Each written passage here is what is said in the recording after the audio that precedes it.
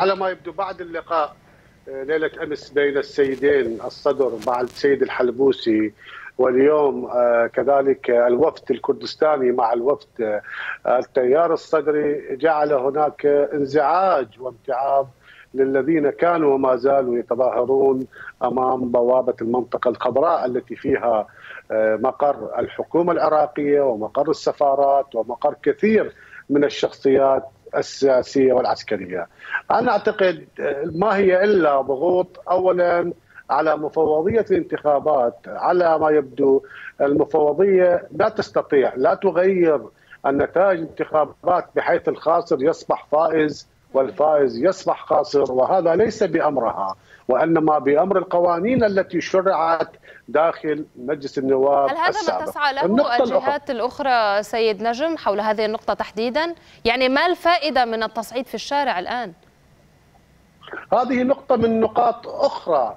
يعني النقاط الأخرى تحاول جعل ثقافة وأسلوب الفرض والرفض. يعني رفض بعض الشخصيات التي تتخوف منها بإعادتها لاستلام مناصب تنفيذية أو تشريعية أو رئاسية.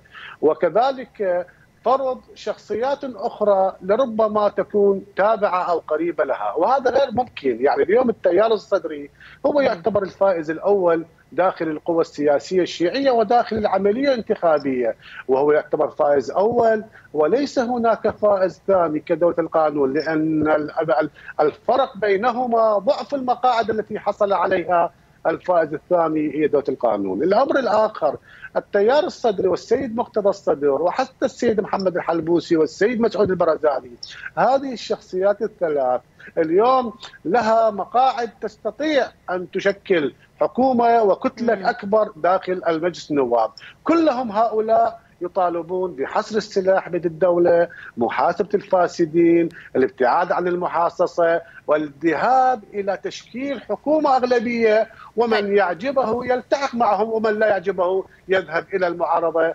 أنا أرى هناك تخوف من الذهاب إلى المعارضة لربما تكون فتح ملفات سابقة. طب من أين الحلول أستاذ نجم اليوم؟ يعني الحل البعض يقول أنه بطبيعة الحال سياسي وليس أمني وأمام الدعوات من رئيس برهم صالح وأيضا من التحقيق الذي دعا إليه مصطفى القادمي رئيس الحكومة. إلى أين تتجه الأمور؟ وأي حلول برأيك منتظرة؟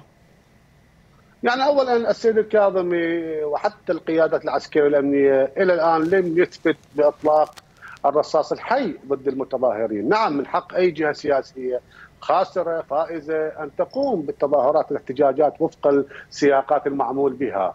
النقطة الأخرى الحل الأمثل هو الكتل الفائزة الثلاث تذهب ومن يلتحق معها وبالتالي هذه التظاهرات والاحتجاجات هي لا تمثل أغلبية الشعب العراقي.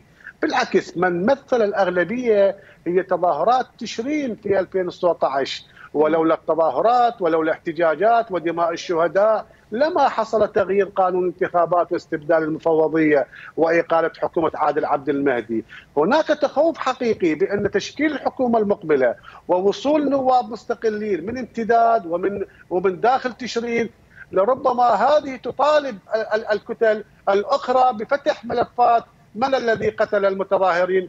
اولا انعدام الثقة وثانيا عدم وجود لهم أغلبية أو تأييد داخل مجلس النواب المقبل مما يجعلون هناك احتجاجات وتعطيل العملية الديمقراطية لكن أنا أقول بأن تشكيل الحكومة المقبلة سيتم نعم. تشكيلها بأقل فترة مما شكلت الحكومات السابقة. شكرا جزيلا لك من بغداد الكاتب والباحث السياسي نجم القصاب شكرا جزيلا.